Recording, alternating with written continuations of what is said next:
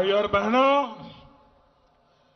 दीदी और उनके गिरोह की बातें ये बताती है कि टीएमसी की बहुत बड़ी हार होने जा रही है। दीदी और उनके गिरोह की बातें ये बताती हैं कि बंगाल के लोगों से उनकी नफरत कितनी बढ़ती जा रही है। अब दीदी के लोग, बंगाल के शेड्यूल कास्ट अनुसूचित जाति के हमारे भाई बहनों को गाली देने लगे एससी समुदाय को, अनुसूचित जाति के भाई बहनों को, दीदी के करीबी लोग कहने लगे हैं उनको भिखारी कहने लगे, भिखारी, मेरे प्यारे भाइयों बहनों, बाबा साहब आम्बेडकर की आत्मा को दीदी के लोगों के ये कड़वे बोल सुनकर कितना कष्ट हुआ होगा। अभी 14 अप्रैल को ही बाबा साहब की जन्म जयंती है। जन्म जयंती से पहले दीदी ने, टीएमसी ने बाबा साहब आम्बेडकर का इतना बड़ा अपमान किया है। कोई सोच नहीं सकता था कि बंगाल की धरती पर ये कहा जाएगा, बंगाल के सीएम का कोई करीबी इस तरह की भद्दी बातें कर सकता है, इसका अंदाज़ा न देश को था, न बंगाल को। ये कल्पना से भी परे है कि कोई व्यक्ति ऐसी भाषा बोल सकता है। लेकिन दुर्भाग्य है, दुखद है ये सच्चाई है। और साथियों, दीदी तो खुद को रॉयल बंगाल टाइगर बोलती है ना? शेड्यूल कास्ट के मेरे भाई और बहनों के खिलाफ ऐसा गणित बयान बिना दीदी की मर्ज़ी के कोई नहीं दे सकता।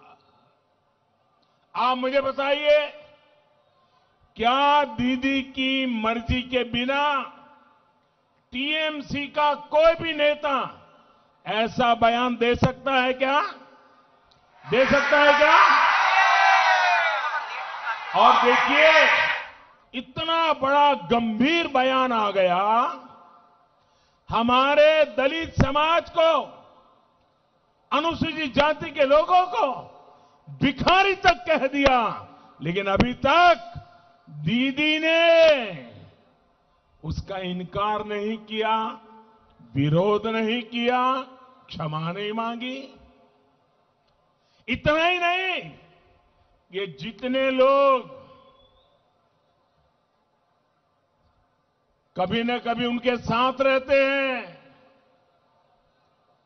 हिंदुस्तान की कोई भी दल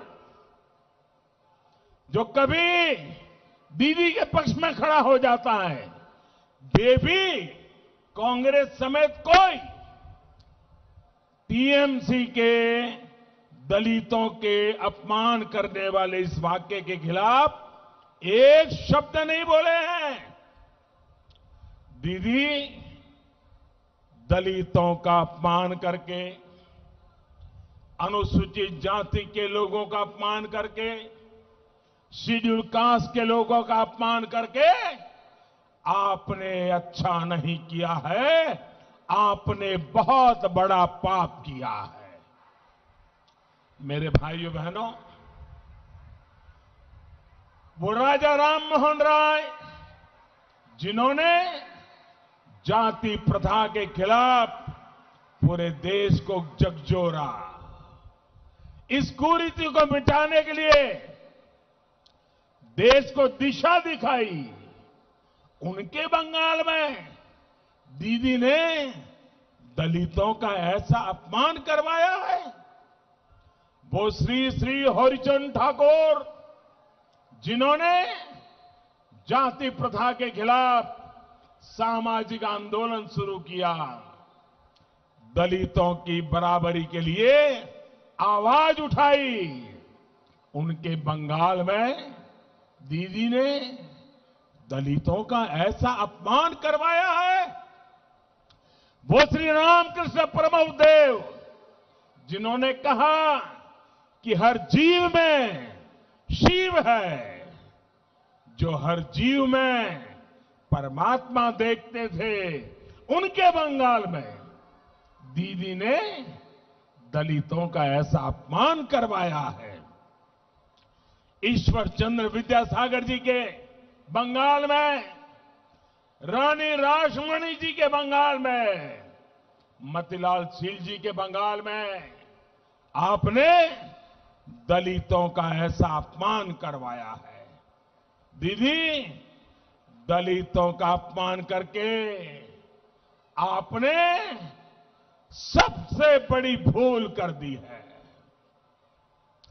बंगाल के लोग ये बात हमेशा याद रखेंगे। बंगाल का कोई बच्चा इस बात को भूलेगा नहीं। दीदी, ओ दीदी।